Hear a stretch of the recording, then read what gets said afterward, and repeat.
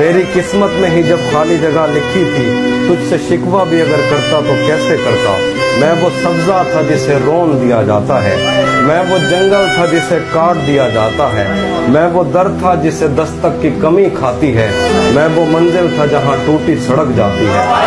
मैं वो घर था जिसे आबाद नहीं करता कोई। मैं तो वो था कि जिसे याद नहीं करता।